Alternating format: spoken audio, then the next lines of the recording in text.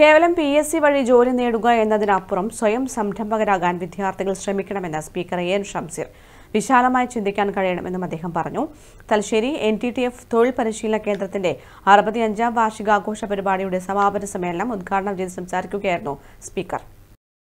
പഠനത്തിനും പരിശീലനത്തിനും അപ്പുറം ജോലി നേടുക എന്ന ലക്ഷ്യം മാത്രമാകരുത്. സ്റ്റാർട്ടപ്പുകൾ ആരംഭിച്ച് സംരംഭകരാകാൻ ശ്രമിക്കണം. അതുവഴി കൂടുതൽ പേർക്ക് ജോലി നൽകാനും സാധിക്കും appeal to the student community, at least uh, trainee sitting here, what was the dream of a student in, Tal- at the, in Kerala? The dream of a student in Kerala was to get a PSC job. So, how many PSC vacancies are there? Only 5.5 lakh people will get PSC. So, when we are sitting in my office, people will come and see me. So, we are in such and such list. We need job. So please support me. So my appeal to the trainees who are sitting in front of me not not give preference to bsc you are trainees.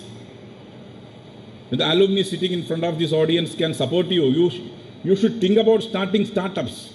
Why are you not starting startups so my request before the community is to NTTF trainees sitting before you, sitting before me to start startups, not go behind the PSC. വിശാലമായി ചിന്തിക്കാൻ ഓരോരുത്തർക്ക് കഴിയണമെന്നും speaker പറഞ്ഞു. N T T F തൊഴിൽ പരിശീലന കേന്ദ്രത്തിന്റെ അറുപത്തി അഞ്ചാം വാർഷികാഘോഷ സമാപന സമ്മേളനം ഉദ്ഘാടനം ചെയ്ത് സംസാരിക്കുകയായിരുന്നു അദ്ദേഹം.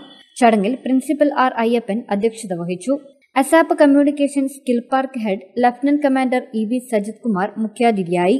ഏഷ്യയിലെ ആദ്യത്തെ വനിതാ tool and die എഞ്ചിനീയറായ Thalassery N T T F പൂർവ വിദ്യാർത്ഥി പി വി രാജലക്ഷ്മിയെ ചടങ്ങിൽ വെച്ച് ആദരിച്ചു.